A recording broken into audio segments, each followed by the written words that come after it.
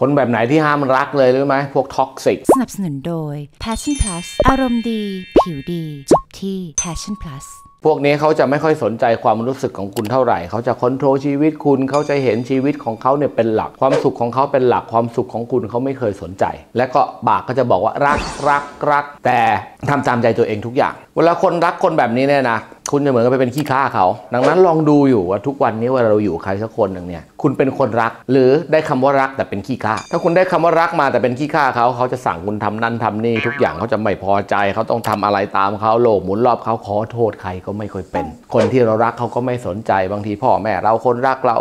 มาขิงใส่อะไรใส่เขาไม่เห็นหัวคุณอะเนี่ยแหละครับ คน toxic อย่าไปใช้อารมณ์ตัวเองนะหนูรักเขาค่ะหนูรักเขาค่ะนะครับ สุดท้ายเป็นขี้ข้าอารมณ์เขาตลอดชีวิต คุณจะไม่เคยสัมผัสความรักที่แท้จริง ใครตกอยู่ในสถานการณ์แบบนี้ แล้วอยากหลุดออกมาได้ ทักมาที่ Clubgig ลองเรียนคอร์สชื่อ Restart ดูสักหนึ่งรอบ แล้วเดี๋ยวคุณจะรู้ครับนะฮะว่าคนที่คุณอยู่ด้วยสุดท้ายเขารักคุณจริงหรือเปล่า หรือมีแต่คำว่ารัก แต่คุณต้องไปเป็นขี้ข้าอารมณ์เขา สนใจอยากหลุดออกจากตรงนี้ ทักเข้ามาที่คลับคิกได้ครับ